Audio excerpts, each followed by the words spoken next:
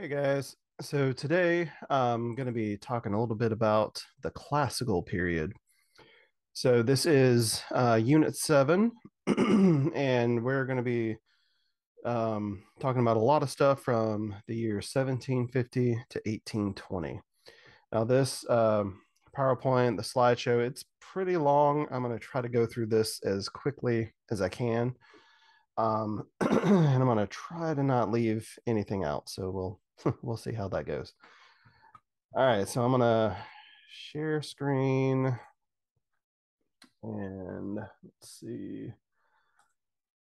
let's get this thing started. All right, so like I said, classical period, uh, approximately 1750 ends at about 1820. Um, you know, those those dates are kind of relative, although uh, you know, we talked about with the Baroque period how um, J.S. Bach he died in 1750, so that kind of signifies the end of the Baroque, and um, also signifies that there's something new about to begin, which is the Classical period. So here are learning objectives. Um, you guys can kind of look over that. I give you a bunch of the key individuals that are discussed here in the PowerPoint, in the chapter, um, and also the terms. All the terms come from the chapter of the book, and you know the the definitions are all in the glossary. Um, important events. Uh, this kind of lists when you know the different composers are born, when they die, just so you can have a you know kind of a a neat timeline, a neat rundown of when things happen.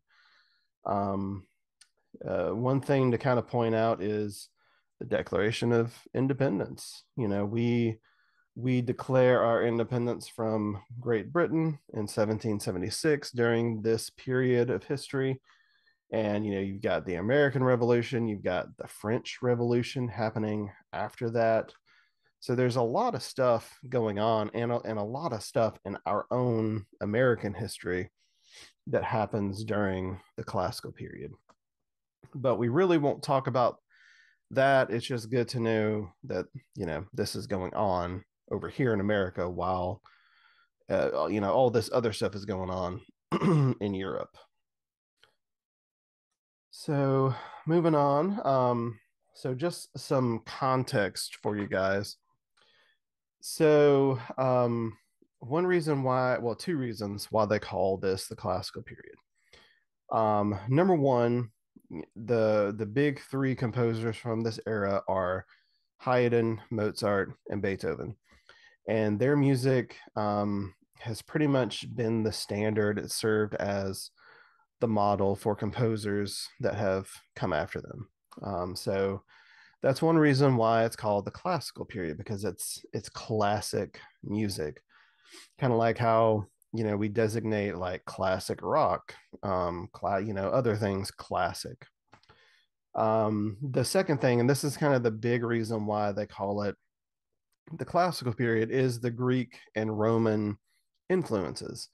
Um you know this this has happened before you know go back to the renaissance where it's um, where the Renaissance was, uh, you know, influenced by, you know, Greek ideals. Well, this is the same thing, but a little bit different. Um, in art and in um, music, it's more about, um, well, especially music, it's more about like balance, um, symmetry. Like everything is is kind of neat and very structured uh, whereas in the Baroque, everything was, well, not everything, but a lot of stuff was considered, you know, excessive, gaudy, you know, kind of overdone, things like that. So the classical period is a reaction to that. So everything, and we'll talk about this when we get to the form section, like everything is very, very structured. Um, and that I mean, it's kind of the same in art, but you know, we'll we'll talk about that in just a in just a moment. Um, other things that are going on. so this time period is also called like the Age of Reason or the Enlightenment. Um, lots of really, really big changes going on. So you've got um, changes in politics, governance. So, you know, people are starting to question the monarchies, question all of these noble, rich people. You know, the wealth distribution has changed. So the middle class is not only growing, like more people are in the middle class, but also the middle class has more money. They are consuming more, and therefore they have more power in the direction of history of their, you know, respective areas and countries. So that's starting to change. And I mentioned the aristocracy, you know, that that changes as well, especially with all of the revolutions going on. Um, lots of different publications and scientific discoveries. You know, this dates all the way back to talking about Isaac Newton and John Locke. In the Baroque period, this just kind of continues uh, with Rousseau. He was a philosopher that um, kind of fueled, help, well, helped to fuel a lot of the political change and the revolutions. Um, Voltaire kind of did the same thing. He wrote Candide, which was a very famous book. Um, Leonard Bernstein, who was a composer, but also the music director of uh, the New York Philharmonic for many years, he actually wrote um, an opera musical about Candide. Um, and it's it's a comic it's a comic satire. It and it pretty much criticizes criticized everything. People like no one was safe. Even other philosophers like it just criticized a lot of things that were going on in the world at the time. Um napoleon you can't not mention napoleon. Um Napoleon Bonaparte, uh, French political leader, military leader. He um, led the revolution, the French Revolution, and installed himself as emperor um, until he was exiled. Then he came back, and then he was killed at the Battle of Waterloo. Uh, I can't remember exactly what year that was, but you know, if you're if you're interested, you can look him up. Um, but it's really good to know that he was alive during this time and um, he did influence a lot of the things going on in art and in music, um, especially art. But uh, like Beethoven, we'll talk about Beethoven. He actually dedicated a couple of his pieces of music to Napoleon. Um, when you know, before Napoleon installed himself as emperor, we'll talk about that maybe if we have time. Um, but anyway, all of this stuff, the Enlightenment, it led to all, a lot of the political revolutions in Europe. So, scientific achievements we've got electricity, Benjamin Franklin, uh, lots of different medical vaccinations and other medical discoveries, uh, discovering oxygen as a molecule, uh, beginning the study of astronomy, of space, got steam engines, cotton gin, battery, all this crazy stuff going on, which in the end leads towards the Industrial Revolution, which we'll talk about in the next period. All right. So the Industrial Revolution it begins during this era. Um, so this begins kind of the the whole idea of capitalism. You've got lots of factories um, owned by the middle class therefore you know there's a lot of money that's being funneled more into the middle class and the middle class strengthens. Therefore they are consuming more art and more music and that's going to change a lot of stuff. Like that changes who the artists who the composers are writing music for. It's not just the rich nobles it's for common everyday people. It's for everybody now. So and i mean you kind of I don't know if you can really see it here, but definitely in the next period, the romantic period. Um, there there's a definite shift, like a big shift, as to like composers starting to write music about different kinds of things, and we'll we'll talk about that when we get to it. Um, let's see, literacy. So, like I said, music is written specifically for the middle class, not just to listen to, but to also play just for you know leisurely playing. Um, people are reading like newspapers, periodicals, novels, literature, like all of this stuff. So education like that's changing. It's not just the rich like the middle class is big is becoming educated as well which leads towards the revolution. Um patronage in terms of music. So before you know we've talked about limited to the church and wealthy nobles now composers are um kind of going out more on their own uh like Haydn, when we talk about him, like he was still, uh, he still had a wealthy family uh, as his patron. So that's, you know, more of the old style. Beethoven, um, Mozart, Mozart had um, patrons. Beethoven had patrons, but it wasn't like one distinct patron that he worked for, lived there.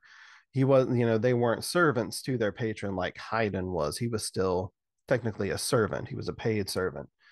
Um, so Mozart and Beethoven, they had a lot of freedom to write kind of what they wanted, um, to organize concerts, you know, do their own publicity. Um, it was a lot of work, but it was, I mean, there was a lot more freedom involved. You know, you're not just writing for your employer, you can do kind of whatever you want to do, which is great and leads towards a lot of the stuff um, written in the Romantic period and now. You know, this is a precursor to what we have now in in art music. Um, let's see with the visual arts. So they don't really call it the classical period, but it's called the neoclassical style. Um, but same kind of thing. It's influenced by Greek and Roman um, history um, there's stuff portraying, you know, uh, like the oath, like this picture right here of Jacques Louis David. Um, like these older stories of Greek and Roman stories, um, paintings like that. And then there are other ones on the next slide. You're going to see uh, more of a contemporary depiction of the art from the the classical period. But um, everything's it's analytical, it's very symmetrical. It's clean. So not excessive. It's just very clean and precise. But also, um, there's not a lot of individuality with the classical period. Um, and once we get to the romantic, you're gonna, I mean, it's another one of those things where the romantic period is a reaction to the classical. Classical period, it's all neat, symmetrical, clean. There's no individuality, not a lot of expression. The romantic period is a reaction to that. There's so much expression, so much individuality, like hyper individualized styles. Um, so, you know, th- this is just, again, like everything, every period in history is just a reaction from the other. The Baroque was considered to be very excessive, like kind of too gaudy, like too much about nature and humanism. So the classical period kind of scales that back and and kind of refocuses everything. Um now a lot of see if I can get to the next one. Here we go. A lot of the art, um, since there were many revolutions and lots of political changes going on, a lot of the art was infused with those kinds of ideals. Um, David was one of those painters. Um, so he was a painter of the neoclassical style. He was French. So he was very involved in the French Revolution and all that stuff. But um, like I mentioned, um, you know, the Baroque style with art, with painting, you go from the Rococo, which was very light-hearted, lots of nature scenes and all that sort of stuff, to like really more serious um, types of paintings and paintings that are very politically charged. Um, they do have a lot of feelings, like heightened feelings. Like um, the painting here, it's the death of Marat, and this like this painting, it has a lot of feelings in it. Um, Marat, he was a French official who was assassinated. He was a friend of David. Um, of course, David felt very um, very strongly about this and wanted to do something um, about this, you know, for his friend. So, you know, this painting it served as a way for David to turn him into a political martyr for the revolution and pretty much um, like kind of sparked uh, you, you know just push the rev push the French Revolution into happening more and more. Um, but yeah, you have a lot more of these ki- these types of paintings.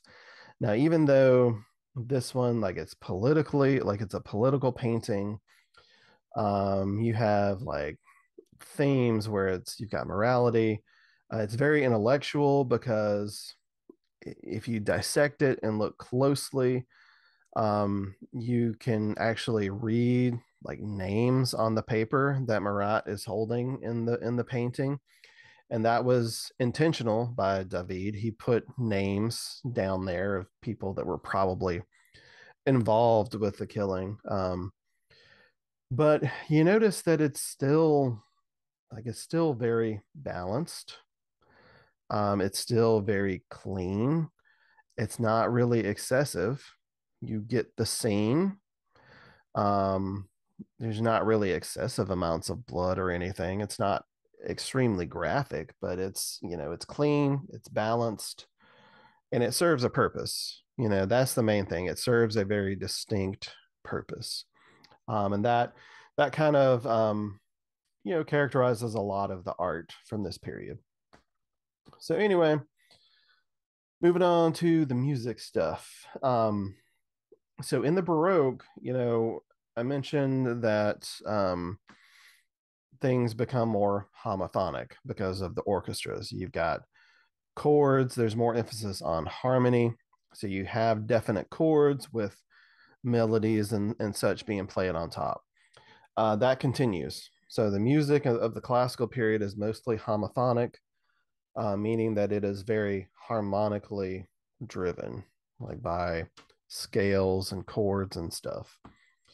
Um, you've got new genres like the symphony, the quartet, and not not the orchestra, but you know sometimes it's called the symphony orchestra, but the symphony as the the actual piece of music that's being written. Um, you've got more dynamics, uh, so use of crescendos and decrescendos. The melodic lines they change, so they're shorter. Um, they're going to be more balanced. Uh, shorter phrases, symmetrical lines, but the main thing about the melodies are that they are very memorable. So shorter and easier to remember and think of them as being like tuneful. Okay. Um, like I mentioned, new emphasis on form, so structure. And like I said, greater use of dynamics, articulations, um, the way that people play the music, uh, tempos. So that's, you know, fast, slow, all that in between. So um, the balance and the symmetry part. So basically, if um, if a composer writes a melody and it's four bars, four measures, they are then going to uh, write like another melody that answers that that is also four bars. So you've got eight symmetrical bars of two symmetrical melodies. One that's kind of a statement one that's kind of an answer so and and all the composers kind of think this way so it's very structured that's where the form kind of comes in um, they use form in order to like highly structure all of the music. Um, they are adding some more expression, especially with the dynamics. Like that's there. Um, but we really get into the use of ex- like lots of expression in the romantic period, but it kind of begins here. Um, and also you just have uh, like a slower more of a distinct harmonic progression, like progression from like chord to chord. Um, so you can tell like what harmony they're using at any given time. And that also kind of falls in line with the form. Like they're just very, um, they're very distinct with um, the melodies, the rhythms, the harmonies. It's all based on the form and the structure of the music. So the form kind of dictates a lot of it. Now, performing forces, things that are different. The piano forte or just the piano, that becomes the main keyboard instrument from now on. You've got string quartets. Uh, this is two violins, a viola, and a cello. This becomes a very important um, chamber ensemble. All composers write music for string quartet. And they're also writing music for more chamber ensembles. That's where the chamber music comes from. That's where that term comes from. Um, the orchestra gets bigger, so about 30 to 60 musicians, so it doubles in size. You've got the four distinct sections that we've talked about strings, woodwinds, brass, percussion. So you're adding flutes and oboes, trumpets, trombones later on, and then lots more percussion like cymbals, triangle, the big timpani drums, lots of different things. So with these new instruments and more instruments, you can um, composers could create different colors, different timbres, different sounds. Um, there's no more basso continuo, uh, so no more harpsichord and all that stuff. It's just um, it's all it's just the orchestra. So therefore, since there's no basso continuo, they have to have a conductor to lead everything. So this is the introduction of the true like orchestra conductor. And they also have um, concert masters. So this is usually the principal or first um, violin player. Um, they can serve as the conductor if the conductor is out, but they're also just kind of the leader of the string, all the strings, leader of the string section. Um, so yeah, a couple of you know those are um, the main things to keep in mind. And next is musical form.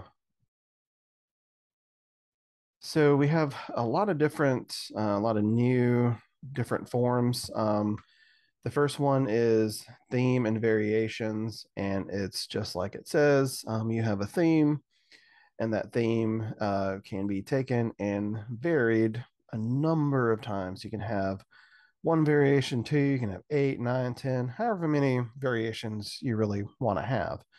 Um, but as you can see in the example that I give, you know, each variation, like it's going to be designated as A um, because it's just a variation on the same material.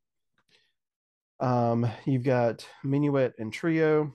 These are I guess you could say, old forms. They're dance forms from the Baroque period, but they're being used in different ways. Um, composers would include these in uh, as you know, movements of a symphony or a movement of a string quartet or you know anything out there.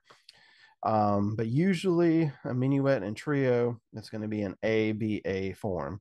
The minuet is A, the trio is B, and then it always does a da capo, which down there it says to the head. Basically, that means you play through the music. So you play through the minuet, you play through the trio, and then at the end of the trio, you repeat back and play through the minuet. So A, B, A. So you're repeating the A section or the head. That, you know, that's a lot of times they would call the head the beginning of the piece. Um, so there's that. Scherzo is pretty much a fast dance form. It's a fast version of ABA form. Um, this is a lot of composers, especially Beethoven, started to write and include more scherzos like in their symphonies. Um, instead of doing a third movement as a minuet and trio, he might do uh, a scherzo. Um, because an example, um, his symphony number three, he actually wrote a minuet and trio for the third movement.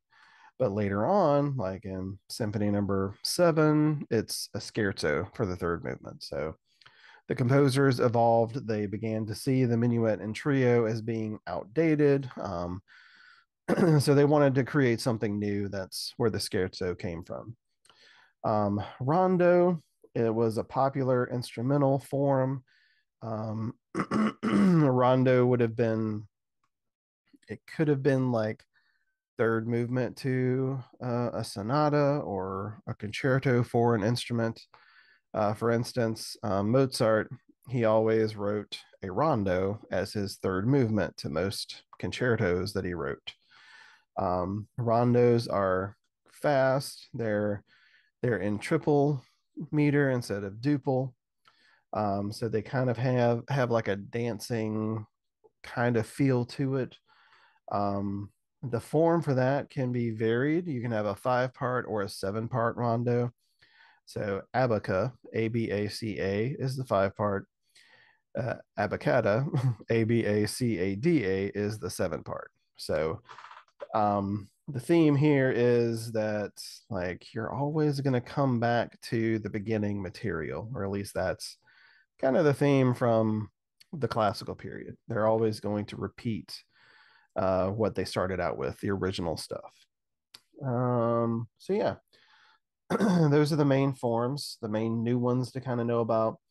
Um, the big one, though, and this is the the form that everybody used for almost anything, um, is sonata form. So this was the most important innovation in form during the classical period. Um, commonly, uh, sonata form, like any first movement of anything, symphony, string quartet, um, uh, like a sonata, obviously, or um, a concerto, that will usually be in sonata form. Um, so sonata form, it's three different sections basically.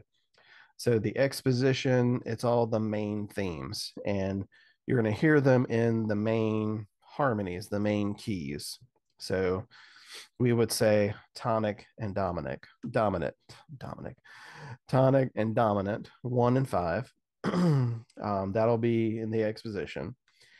In the development, it takes all these themes and um, kind of does variations of them, throws in different harmonies. It goes through a lot of different keys.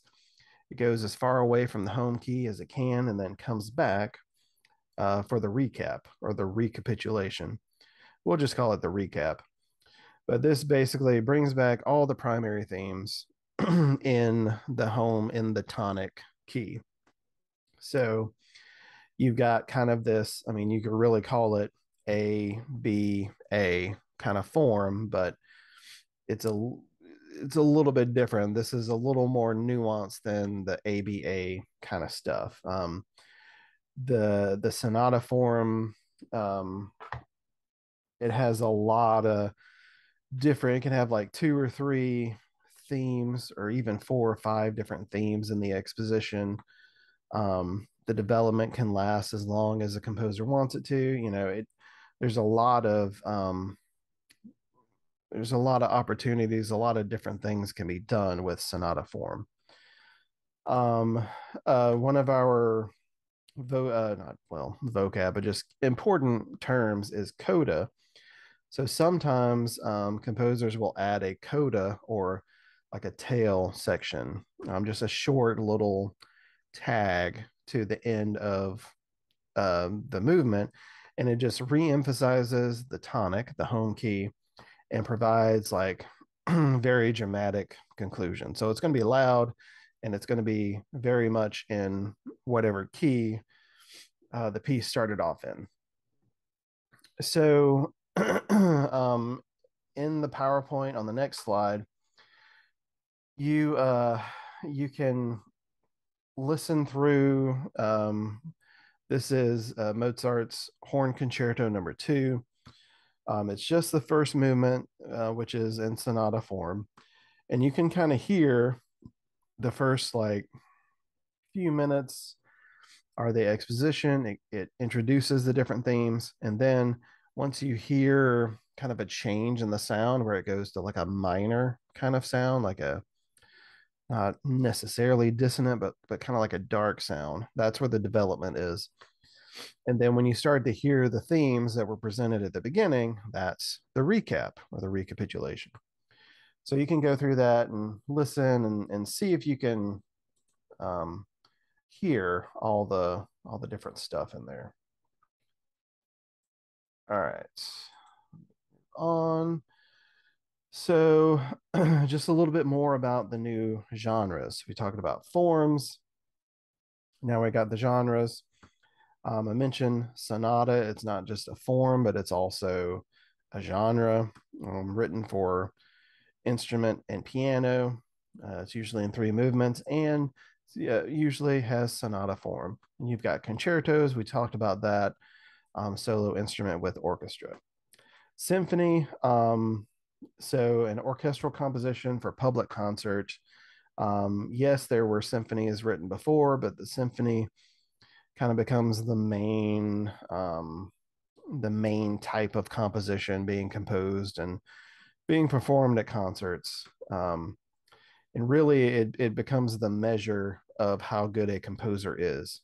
Like if they wrote really good symphonies or operas, then they were usually seen as a very good composer. So four movements, um, it's usually going to be a fast followed by a slow, then typically some kind of dance style. So that's where minuet and trio or the scherzo comes in. And then the end is a fast conclusion. Uh, mention the string quartet. Um, it can have three or four movements to it, but remember string quartet, two violins, a viola, and a cello. No double bass. Um, lots of different types of chamber music. A string quartet is a chamber piece. It's a type of chamber music, but you've got other things like art songs. So, um, songs for voice and piano, um, piano pieces like for piano alone. Um, like I mentioned, you got instrumental sonatas for instrument and piano. Um, you've got lots of different things going on, and more of this is being written because of the growth of the middle class. You know, these people are learning how to play instruments and they want to be able to, you know, perform stuff. Uh, you know, not publicly, not for, you know, a job, but just, you know, for their own enjoyment. So now, opera, we'll talk a little bit about this. So there are two different types of opera now. So you've got opera buffa or comic opera. So this is, I mean, it, it is what it says. It's a comedy. So it's supposed to be funny. Um, Mozart was really good at writing opera buffa, wrote lots of them. Well, um, you'll listen to an example of one of them, the Magic Flute. And then you also have opera seria or serious opera. So usually opera seria will feature like mythological stories or uh, a story about like highborn characters, plots revolving around high society or or some kind of historical fiction or something like that. So um, those are the two different kinds. We'll kind of focus on opera buffa because that is something that's kind of new. All right. So moving on, we come to our first composer, um, Joseph Franz Joseph Haydn, or Joseph Haydn. So he was Austrian, so born in Austria, not Australia, but Austria. So Austria is um, right there next to Germany. he was born in 1732, lived until 1809, so he was 77 when he passed. Uh, and I know you know his pictures down there down there in the corner. Um, he does kind of favor George Washington, but he's not kind of Thomas Jefferson ish. But no, that's Joseph Haydn. They all wore the same kinds of wigs. Um, that was just kind of the style back then. So uh, yeah, that's why they kind of all look alike. They all wore the same style of fancy wigs. Um, Haydn, he uh, played the harpsichord and violin. Um, his main thing, um, you know, I mentioned patronage. So Haydn was kind of, I mean, he was, he came before Mozart and Beethoven, so kind of old school.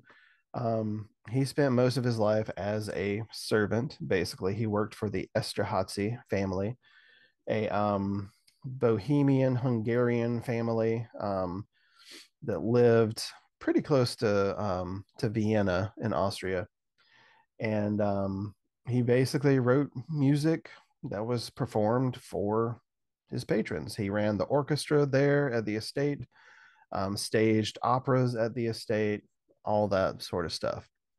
Now, um, thankfully, his the Esterhazy family they actually allowed him to publish his music. So instead of just being for that family, he was you know he was able to publish it, and therefore it was spread throughout Europe. So um, that happened in 1779, and pretty soon after that, you know, about five to ten years after, he was one of the most famous composers in Europe. Because um, before then, all of his music had been kept kind of secret at the Esterhazy estate, but once he was able to publish it, you know, his fame kind of blew up. Um, 1791 to 1795, he spent in London mainly because there were um, there was a change in leadership in the Esterhazy family. They um, they downsized a lot of stuff, so Haydn was free to leave for a little while. He wrote a lot of stuff in London. He wrote 10 symphonies, often referred to as the London symphonies. And um, I think they're, um, I want to say the listening assignment for this unit is um, is from one of the London symphonies. The uh, it's called the Surprise Symphony. So you guys will get to listen to that and, and learn a little bit about it. Um, so when he came back from London, he returned to work for the Esterhazy family in 1796 and pretty much stayed there until his death in 1809. Um, he was called the father of the symphony and the father of the string quartet. He wrote over 100 symphonies and he wrote lots and lots of string quartets. Um, he was kind of the first to write a lot for string quartet and kind of establish it as an ensemble. Um, and his writing for both genres are really really great. Um, some of the best examples that we have. Um, his music in general is known for the melodies. Um, he does use some like folk tunes some austrian bohemian folk tunes. And he is um, he, does he's very witty um, known for incorporating that wit into his music and you'll kind of figure that out with the surprise symphony. Um, i'll let you guys read a little bit about that. It's it's in the chapter of the of the book so. Um so we're gonna well you guys are gonna listen to the second movement of his emperor quartet and this is a string quartet. Um it is a theme and variations and down here you've got um the timing for when the different uh, variations happen. So starts out with the theme. Variation one is about minute 39. Variation two, two minutes 47. Uh, three is 410. And then variation four is about five minutes 30 seconds. So you guys um, can listen to this. Um, this is just the second movement from it.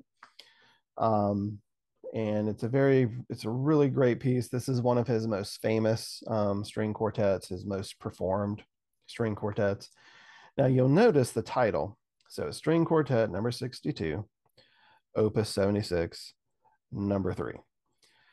So they would usually number like how many pieces? So yeah he wrote a lot of string quartets.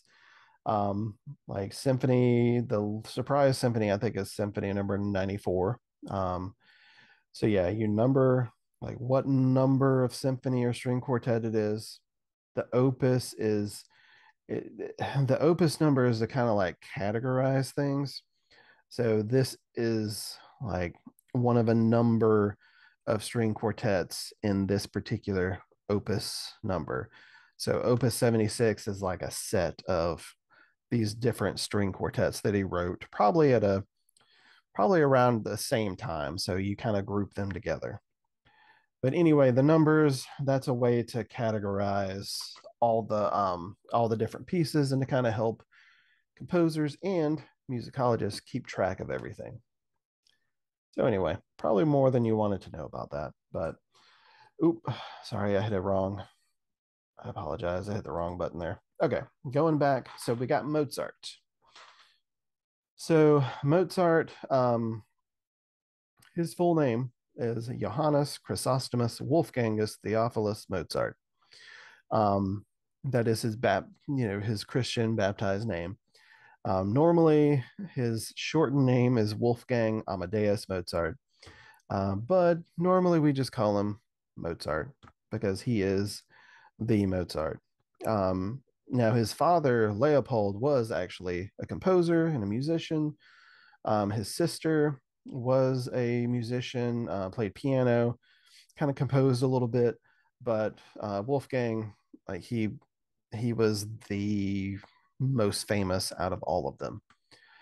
Um, so he was Austrian, uh, born in 1756, died in 1791. So he was 35, very, very young.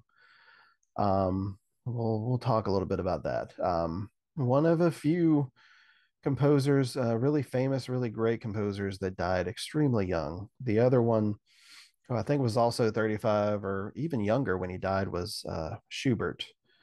Um, but anyway, uh, Mozart was an amazing piano keyboard player, really good violin player. I mean, he could pretty much do whatever you wanted him to.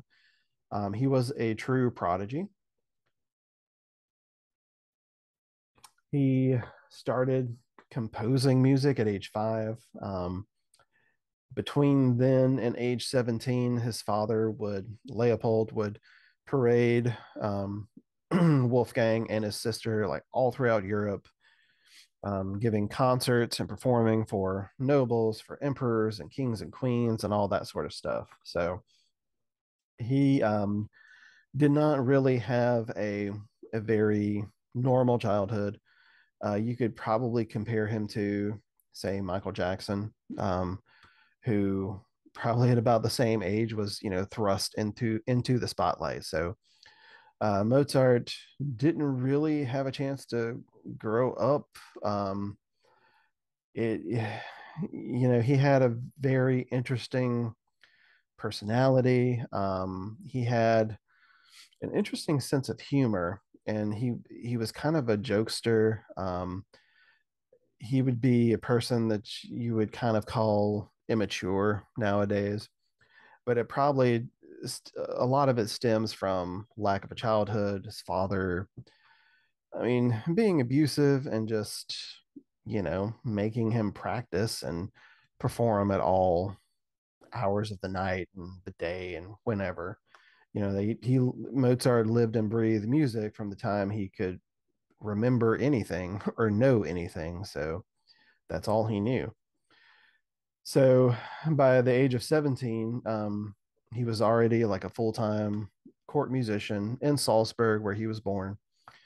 Um, not soon after that he um, or not too long after that, he moved to Vienna of 1781. Um, he married, uh, rose to fame with a lot of his operas and symphonies, especially the operas. Everybody loved the operas. Um, his most famous one was The Marriage of Figaro, that kind of established him in Vienna. Um, and he was actually employed by the emperor. Um, and really, it wasn't like a full time thing he was employed by the emperor just so that they could keep him in Vienna. Um, it was a very, very modest, like very modest part time job. Um, he was basically composing like dance tunes for balls and different things, like something that was very, very beneath his status as a composer, but it was all they could do. It was all the emperor could give him um, in order to keep him in Vienna. Um, aside from that, I mean, Mozart put on lots of concerts on his own, um, organized them, all the productions. Uh, he had other patrons that, um, you know, kept him afloat. But by 1791, um, he fell ill. A lot of people think it was because he just worked himself to death. Um, we're not really sure, not really certain how he died. Um, but in his short 35 years, he composed over 800 works, um, which is amazing. Um, you know, Mozart, he pretty much had everything figured out in his head before he wrote it down. If you ever see a manuscript that was written by Mozart, it is pristine. It is like somebody copied it and and didn't make a wrong move anywhere. Like that's how good he was as a composer. Um, in comparison, Beethoven, like his stuff looks like chicken scratch. Um, but that's just that was the way he worked. Um, Beethoven would actually like literally compose on anything that was near him. He would compose on the walls of his apartment, on the piano, on whatever was at his disposal. um, Mozart, not so much. He was very meticulous um, with what he did. Now, at his death, um, Mozart was pretty much poor. Um, he owed a lot of money. So he was given like a pauper's death, like a common burial, um, not the pomp and circumstance that was warranted for someone of his stature and of his greatness, really. Um, there were services held after he passed away, but his original funeral was uh, pretty uh, plain. It was a, a common burial. Now, the financial instability comes from his immaturity, his inability to save money. Uh, he just spent money lavishly on many different things food, clothes. He gambled much of it away. Um, it's pretty sad because if you think about it, I mean, he could have lived another 40 some odd years. And who knows how much music, like, who knows what he would have come up with if he had lived. That's kind of the sad thing. Um, because he he was so innovative and such a great composer uh, and he was just like really starting out. He was just about to reach the midpoint of his life of his career. So we'll never know. Um, i would you know encourage you guys to watch um, the movie amadeus. Uh, it was oscar winning movie came out in 1982 i think really great movie. I mean, some of it's fact, a lot of it, like the storyline is fiction. I mean, yes, the people are are real, but the story is is fictionalized. Um, it's it's it's for you know dramatic effect, but it's a really good movie. Um, I would encourage you guys to watch it um, because it, it it's worth it's it's worth watching at least once. So, um, mention the opera. Like he's very well known for his opera. I already talked about Marriage of Figaro. Um, that's where the the picture up there comes from. Um, also wrote other ones, Don Giovanni, um, The Abduction from the Seraglio. Seraglio is uh, a Turkish harem, um, whorehouse, for lack of a better term. Um, yeah. Anyway, it that one's actually pretty good. It's not it's not what you think it is. Um, some basically somebody's beloved was kidnapped and they're trying to rescue her. That's basically what it what it is.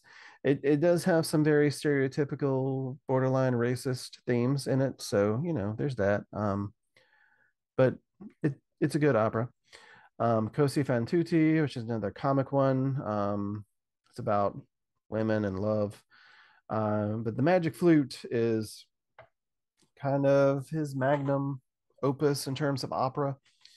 Um, it was the first uh, major opera to be composed in German, which is pretty cool. Uh, most operas were either composed in uh, Italian or there were some in French or English. So finally, they get one in German. And I'm not going to read through all the synopsis, but you guys can can read through it. Um, it it's very mythological. Um, it's a it's a pretty cool opera. I mean, obviously with the name Magic Flute, you know, there's got to be some magic and mythology involved. Um, but you guys are going to listen to the Queen of the Night aria, which is pretty much the most famous. I mean, there are a lot of famous tunes from this opera, but this is probably the most famous one. Um, and these pictures are from scenes uh, from the Magic Flute. But basically, in the Queen of the Night aria, um, the Queen of the Night herself uh, wants her daughter Pamina to assassinate uh, the Queen of the Night's rival Sarastro. Um, and basically, it's the Queen of the Night telling Pamina that if she doesn't do this, um, she doesn't have a home, doesn't have a family anymore. So yeah, um, I give you the translation there because it is, like I said, in German. So there's a translation, and you guys can enjoy the Queen of the Night aria. Um, yeah, and the and, this is a pretty cool staging of it. Um, some some productions go all out, and this one does. Um, the costumes are pretty interesting as well. So, yeah, you guys enjoy that. I've heard it a million times. I don't need to hear it again. Um, so on to a composer that's not in the book. So Marianna Martines. Um, she was Austrian. Huh, a theme here. Like, you know, before we talked about German composers, um, English, French composers. In the classical period, like most of the great composers come from Austria or Beethoven's from Germany, but at the time, Germany is part of the Austrian Empire. So, you know, technically, he's Austrian. He also lived a long time in Vienna. So, yeah. Um, but anyway, Martines, she was a woman, a female composer, born in 1744, um, died in 1812. So she lived to be 68. Um, so, I mean, she was forgotten, like was not included in musical history books and all that sort of stuff. Um, but she was uh, one of Vienna's like most prominent composers of her time. So she came from a military family. Father was a military officer. So she she wasn't like wealthy, wealthy, but she didn't really have to worry about anything. Um, Haydn actually taught her music lessons, and then um, in return, she introduced him to some really important people and kind of helped his career. So basically, I think the story was Haydn actually lived in like an apartment building owned by uh, family. So he would give her music lessons, and in return, you know, she would just introduce him to different people, you know. Um, so Martines, she was not only a really good composer, she was also a great singer and harpsichord player. Um, and she also trained and taught um, many of the top female like operatic vocalists in Vienna because opera was huge at this point in time. Um, now Martines, like she didn't hold like a formal position, didn't really have um, patronage or anything like that. Um, I, I want to say that she was given a very generous um, inheritance, and that's how she was able to um, work as a composer and and do the things that she wanted to do. But yeah, she did not hold a formal position. Um, even even so, she composed over 200 works, um, and her earliest one dates back to when she was about 16. A couple of uh, really important things to remember. So, she's the first woman to compose a symphony. And remember, the symphony was the measure of how good you were as a composer. That and opera. Okay, they were that was the measuring stick. Um, and she was also like she received lots and lots of awards as well in Vienna, um, and different kinds of titles that were, um, you know, something like um, winner of the Grand Prix of composition of Austria. You know, making up something, but something like that. Um, you know, the fact that she was forgotten not included in a lot of musical textbooks. The fact that I didn't learn anything about her in music school shows the misogyny and the bias um, within classical music, within art music, um, because just within the past couple of decades, um, this is when we've been learning about people like Martines. Um, Jacquet, who we talked about in the Baroque period, um, another guy that we're going to talk about coming up soon. You know, a lot of these people they were swept under the rug because they weren't the norm. They weren't the norm. They weren't a man. You know, wasn't a woman. What I mean, sorry, they weren't male, and they weren't, or they weren't like white European, basically. So thankfully, you know, we're finally learning more about these kind of forgotten composers because her music is really great. So, um, like I mentioned, she was a really good piano, a harpsichordist, piano player. Um, so she wrote a lot of music for piano and harpsichord. So you guys will listen to um, part of her piano concerto. It's kind of a mixture between Haydn and Mozart, um, with a little bit, you know, with something a little bit different thrown in, but it's really good. I think you guys will will enjoy it. All right, now next is another person that was forgotten by history. Um, Joseph Bologne. So Bologne, he was um, French Creole.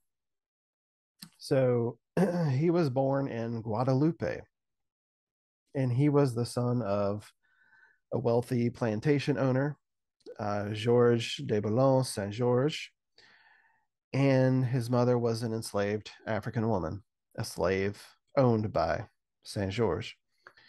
So that is the main reason why he was forgotten. Um, thankfully, he um, Joseph was um, taken care of by his father. He was actually sent to Paris. Um, he didn't stay in Guadeloupe. He was sent to Paris to be educated. So he was not only you know educated like normal people, but he was also educated as a gendarme to the king, um, which is basically kind of like a man at arms. Um, he was essentially trained as a knight, um, cavalier, whatever you want to call it. Um, so he was skilled at fencing, a really awesome swordsman, um, and he did become a knight to the King of France. And his official title was the Chevalier de Saint Georges. So he was not only a composer, but he was an actual Black Knight, which is really, really cool.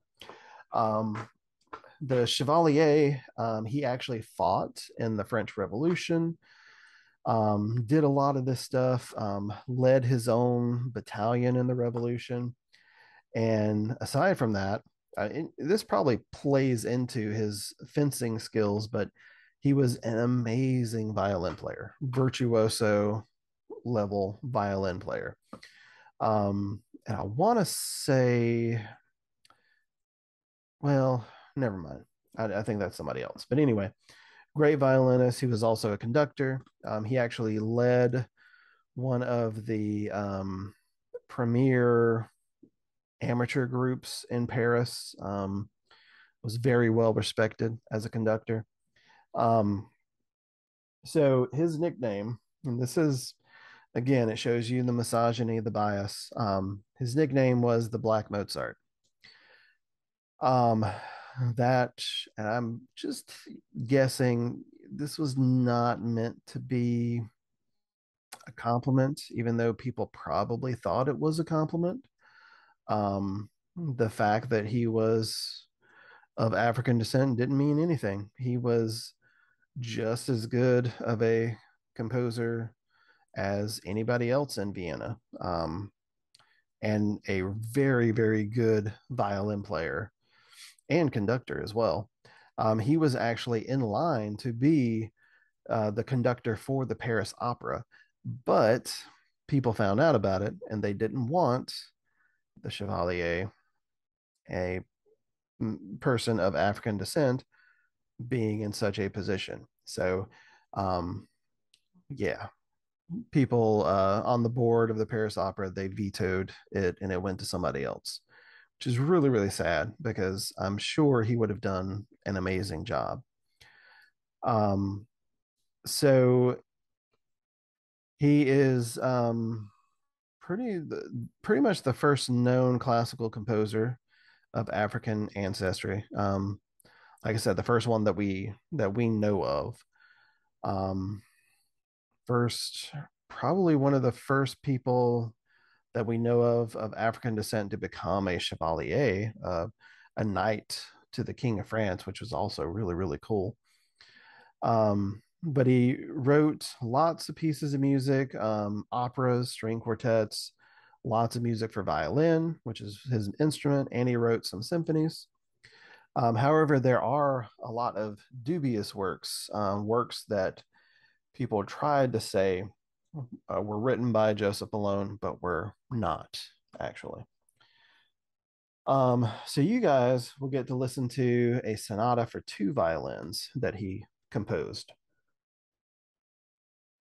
Now, in the title, it says um, Sonata for two violins in B flat major, opus posthumous. So the P O S T H, that means posthumous. So basically, this was found after his death um, and added to his catalog of, of works after his death. But um, a really, really great piece of music. And I mean, if anything else, you got to give it to him, like for being like the Chevalier de Saint George is just an awesome name. Like amazing. um, so our last composer, we finally got there. It's a lot of stuff in this one, I know, is Ludwig van Beethoven. Everybody knows Beethoven. Um, you guys, those of you that have played piano, have probably done Für Elise or any other piece by Beethoven, Moonlight Sonata, all that sort of stuff. Um, Beethoven was German, so 1770 to 1827. He was 56 when he uh, passed away. Um, he was an amazing, uh, we say pianist, um, piano player, somebody that performs on the piano. Um, but a, an amazing pianist. Um, and he was kind of like Mozart, like a prodigy, taught from a very young age to play um, performing at a very young age, composing at a very young age. Um, uh, sad, a couple of sad things. Um, Beethoven's father was an alcoholic, was very abusive. So, kind of along the lines with Mozart, like Beethoven had very rough childhood. Um, his mother passed away um, during his, I can't remember how old he was, but sometime during Beethoven's teen years. Um, but thankfully, there was a wealthy count in Bonn, B O N N, Germany, where Beethoven was born and lived at the beginning of his life. Count Ferdinand, Ferdinand Waldstein. Um, Beethoven actually wrote a piano sonata for uh, this count called the Waldstein uh, Sonata. Um, but Waldstein was an early patron of Beethoven's and actually sent Beethoven to Vienna to to study. Um, there he played for Mozart, um, studied with Haydn a little bit, um, and then came back, and then moved back to Vienna for for good afterwards. Um, Beethoven it, is famous for the fact that he became deaf, like he lost his hearing uh, completely. Uh, he began to lose his hearing sometime during the late 1790s and was completely deaf by 1818. So, pretty much the last nine, 10 years of his life, he spent not being able to hear anything, any of his music. So, the fact that he was going deaf caused a lot of turmoil, it caused a lot of depression. Um, and this all came, you know, it there was this one defining moment known as the Heiligenstadt Testament of 1802 and in this testament, um, he pretty much uh, kind of uh, reaffirms his commitment to life because um, he had considered, you know, committing suicide. I mean, you're a musician, you're losing your hearing.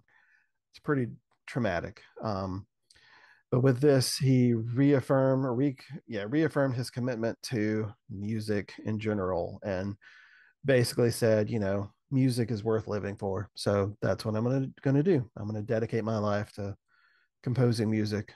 And and that's what he did. Even when he completely lost his hearing, he still wrote music. Um because of all this stuff, he had a very interesting personality. Um, he was a little aloof, even though he wanted to be around people. He wanted to have friends, but he was very difficult to get along with. Um, and very particular about lots of things. Like he he loved drinking coffee and he had to have like the right number of beans ground for his coffee every single day or it just or it wasn't right. Um crazy. Very yeah, very interesting person. Um so Beethoven, he didn't hold like any position. He was fully funded by patrons. Um, so he was, you know, him him and Mozart were kind of the first um, solo artist I guess, so to speak. Um, they um, composed their own works, put on their own concerts, raised their own money, and all that stuff. Um, and he almost wrote as many works as Mozart. He wrote 722. And Beethoven I mean, Haydn wrote over 100 symphonies. Mozart wrote 40 some odd symphonies. Uh, Beethoven wrote nine, but they are like the gold standard of symphonies. Um, and everyone after Beethoven, like if they wrote a symphony, it has been compared to Beethoven's symphonies. Like he is kind of the the symphonic master, eh, so to speak.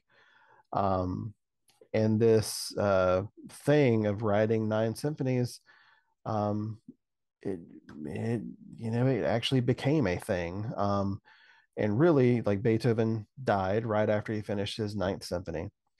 And there were lots of composers after Beethoven that died after writing nine symphonies. Um, Schubert uh, only wrote nine, one of which was unfinished. Um, Gustav Mahler, who hopefully we'll talk about, he wrote nine, was working on a tenth, and died. Um, lots, lots of other examples. Um, you know, at some point, people kind of got over that superstition, but it was it was a thing for a while. You know, it's like don't write your ninth symphony because you're gonna you're gonna die. You're gonna croak afterwards. um, but anyway, his symphonies are the standard. Um, and he has three like distinct periods of like compositions, compositional style, I, I guess you could say. Um, the first style is, or the first period is kind of like Mozart and Haydn, um, very heavily influenced by those two. The second period is known as his heroic period. Um, just, you know, lots of well, he wrote Symphony Number Three, which is called his. What it's called the Eroica or the Heroic Symphony, uh, which was actually dedicated to Napoleon. Um, it like he he wrote he dedicated it in the manuscript, and then after Napoleon um, made himself emperor, Beethoven went back and like scratched it out, even basically like ripping through the paper. He was so upset about it. So a little bit of interesting info there um, lots of uh, experimentation or just uh, just kind of finding his own voice during the heroic period. And then the last part was when he was deaf.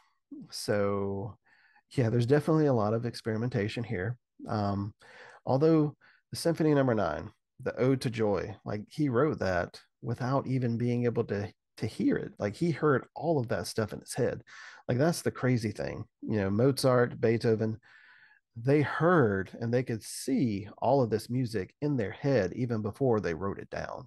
Like that's just crazy. You know, me, like, yeah, I can hear like I hear music in my head all the time, but I can't really write like I can I can kind of piece it together, but it's not like I could hear a whole symphony in my head and just write it down. That it's insane them being able to actually do that. Um, so yeah. Um, Beethoven, just such an interesting, crazy story. Um, so you guys are going to listen to, I mean, there are a lot of things we could listen to, but we're going to listen to his famous symphony, uh, number five, which is uh, sometimes called uh, Fate, is is often tied to this one because um, he wrote this around the time when he uh, was dealing with all of the the hearing loss stuff, and um, it was written in 1808, and it has this motive or motif, the short, short, short, long, bum, bum, bum, bum, bum, bum, bum, bum, like that. That is the Fate motive. Everybody knows that's Beethoven. Um, but this symphony, this it uses this Fate motif throughout the whole thing, not just the first movement. It comes up in the second, third, fourth, you know, in the finale. Like it, it kind of ties the whole symphony together. And Beethoven was one of the first people to start to do this in their works, to have this motif that keeps coming up uh, throughout and just ties, helps to tie everything. This one idea that kind of ties everything together, which is really cool. And this becomes um, very prominent in the next period, the Romantic period. So, um, this movement, you're only going to listen to the first movement. It's a fast movement, it's in sonata form. Um, it has a coda at the end for dramatic closure. Um, just so you know, the second movement is a theme and variations. Third movement, scherzo. And then the fourth movement, it's a fast sonata form. So kind of like what we talked about before. Um, so yeah, you guys will listen to the first movements. Um, this is probably this, well, this is one of his most famous pieces of music. You know, everybody will recognize this from something. So enjoy that. I wish I could share more with you, but not a lot of time.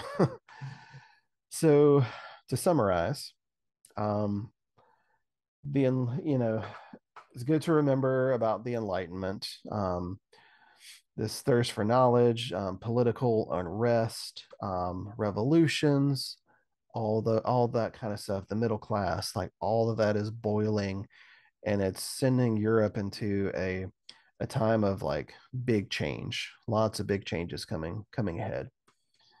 Um, piano, the piano takes over from the harpsichord um, during this period, so that's really important to remember.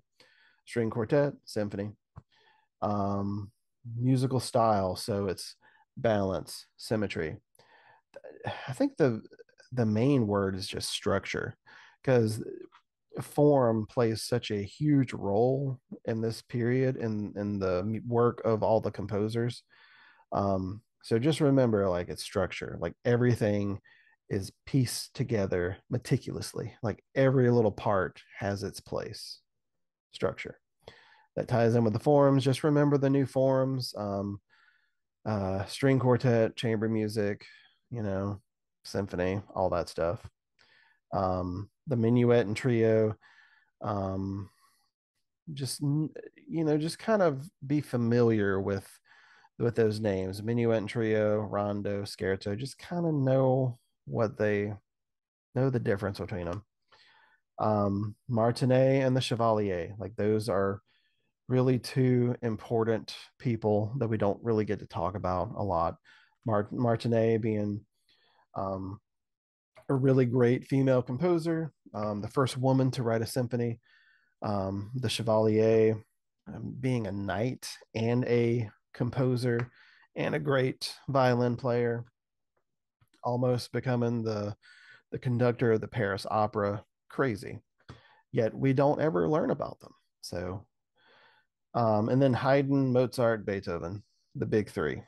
Um, Haydn, call him Papa Haydn because he's, I mean, he's old school. You know, he's, he's, um, yeah, he's the father of everything.